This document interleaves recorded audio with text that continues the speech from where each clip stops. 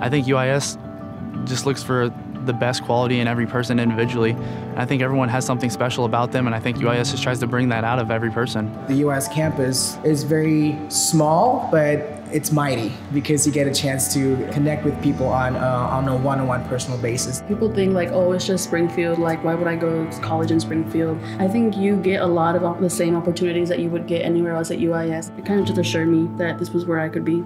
Leadership to me means you want to be a good role model or a good a member of the society, and UIS does a great job of helping students, you know, get involved. They want our students to be leaders, and that's just by providing us with different opportunities and just a way to build leadership skills. So in my job and in the classroom, I'm given opportunities to just build on skills that I feel like the leader should have. As a political science major, I really wanted somewhere where I could be involved, where I could be active, and I would have access to government offices, really where the political action happens. I didn't see any other university that offered that.